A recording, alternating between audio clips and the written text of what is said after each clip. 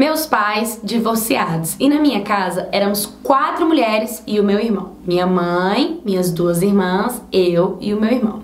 O fato é que sempre fui errada dentro da minha casa, então eu nunca dei certo com ninguém. Porque assim, se eu falava, minha mãe brigava. Se eu fazia, minha irmã brigava. Se eu fazia, minha mãe brigava. Parece que nenhuma das minhas irmãs e minha mãe gostava muito de mim. Então, por exemplo, se minha mãe vira pra mim e fala assim: Ah, quem derramou café na cozinha? Eu falo assim: Ah, foi é, meu irmão. E, e, ela chega no meu irmão e fala: Ah, você derramou café? Ele fala: Não, foi ela. Mentira. Minha mãe já vinha em mim, já me batia, já me dava palmada na cabeça, já mandava eu limpar, já começava a me maltratar. E acabava que isso fazia com que eu ficasse com raiva da minha, das minhas irmãs e da minha mãe.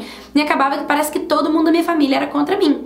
Esse comportamento da minha família ser contra mim fez com que o meu irmão, meu irmão, sei lá, é o que eu penso, né, começasse a ter um comportamento diferente comigo. Por exemplo, eu comecei a perceber que todas as vezes que eu ia pro banheiro fazer xixi, ele queria abrir a porta, ele queria me ver pelada. Muitas das vezes, enquanto eu tava tomando banho, ele queria entrar no banheiro e ficava olhando para mim e ficava conversando comigo. E meu irmão mais velho do que eu.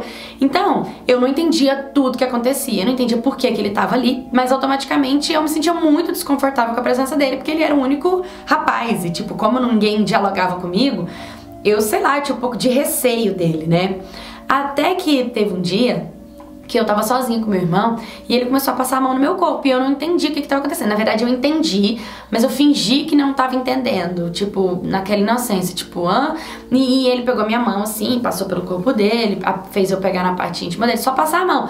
E eu fiquei bem aterrorizada e fiquei até com um pouco de medo disso que tava acontecendo. Até que teve um dia que nós fomos passar final de semana na casa do meu pai, a gente sempre ia. E lá minhas duas irmãs dormiam num quarto, eu e meu irmão dormia com o meu pai, que a cama era bem grande. Eu dormia no meio, meu pai num canto, meu irmão no outro. E um dia eu acordei dividindo coberto com meu irmão, não acordei sentindo uma dor na minha vagina. Por quê? Porque eu sentia que ele tava pegando. Ele, ele mexeu tanto, colocou tanto a mão dele dentro de mim, que a unha dele me machucou, a unha dele me cortou. E eu acordei meio assim, eu senti o que, que tava acontecendo, mas eu fiquei tão sem reação eu fiquei com tanto medo que eu meio que, tipo, virei de costas, assim, com muita força para não ter como ele continuar com a mão lá. E, tipo, virei me protegendo, como se eu tivesse de costas, assim, né? E meio que deu uma agarradinha assim no meu pai, pro meu pai, pro meu irmão parar com aquilo que estava acontecendo. Isso me aterrorizou durante muitos anos e para ser sincera, eu nunca conversei com meu irmão a respeito disso. Só que eu lembro de várias vezes que ele tentou me assediar, que ele tentou passar a mão em mim e que eu me desfazia e que eu saía, mas eu nunca tive o diálogo com ele, eu nunca enfrentei, eu nunca falei. E o mais chato de tudo é que eu nunca tive apoio da minha família para conversar comigo. O que eu entendi?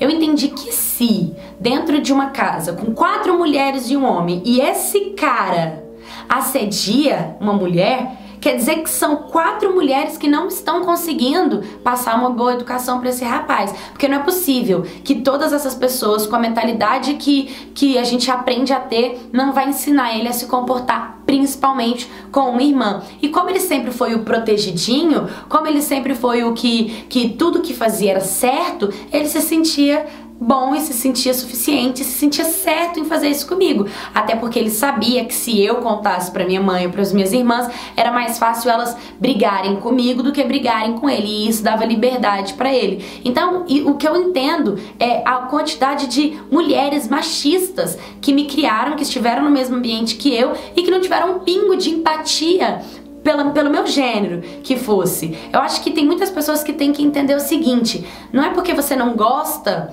da pessoa que você tem que desejar o mal dela. Não é porque, por exemplo, a minha mãe e as minhas irmãs não gostavam de mim, ou me tratavam mal, não tinham paciência comigo, não tinha empatia por mim, que elas iam me tratar mal ou tem que me virar a cara, me virar as costas. Apesar de qualquer coisa, eu sou da família, eu sou irmã, eu sou do sangue, eu sou mulher e poderia ter passado com qualquer uma delas. Elas poderiam estar fazendo um papel muito mais bonito de me proteger em vez de me acusar. E dentro da minha casa eu não tenho essa segurança. Então pode ter certeza que o dia que eu formar minha família, vou ter outra visão de vida. E eu uso essa história para ensinar para outras mulheres a se apoiarem, a estarem juntas, a não virar as costas uma para outra. Vocês podem se odiar, mas se uma mulher tá precisando de ajuda, ajuda. Para julgar vai ter tanto, já tem homem. Para ju julgar já começa com homem, né, que julga muito. Então que as mulheres possam se dar a mão e se apoiar dentro dessa causa, porque o assédio, o abuso sexual é um trauma trauma que mexe com o psicológico que você leva para sempre, principalmente quando se fala de irmãos. Então eu não soube lidar na época, mas é isso que eu tenho para passar de hoje em diante. Machistas não passarão.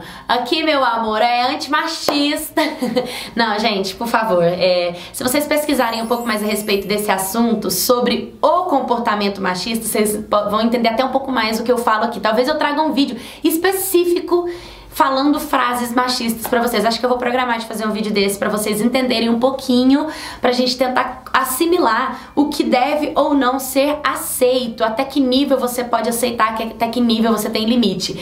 Então, se você já sofreu qualquer tipo de assédio dentro da sua casa pela sua própria família e não se sentiu protegida, porque sua própria família é uma família que é machista, que tem o pensamento que às vezes você vai ser errada, me manda sua história também. Para você mandar sua história é muito simples, os links vão estar aqui na descrição. Você pode clicar no link ou você pode me mandar pelo direct do meu Instagram. Aqui no YouTube sai vídeo dia de segunda, de dia de segunda, de segunda a sexta, meio-dia, e dia de sábado sai vídeo lá no meu canal de vlog para você saber da minha vida e da minha gestação. Então, um beijo e até o próximo vídeo.